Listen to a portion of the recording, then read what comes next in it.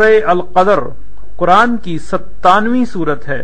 اس میں پانچ آیات اور ایک رکو ہے۔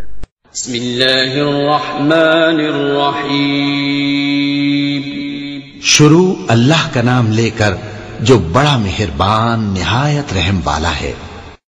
ہم نے اس قرآن کو شب قدر میں نازل کرنا شروع کیا اور تمہیں کیا معلوم کہ شب قدر کیا ہے؟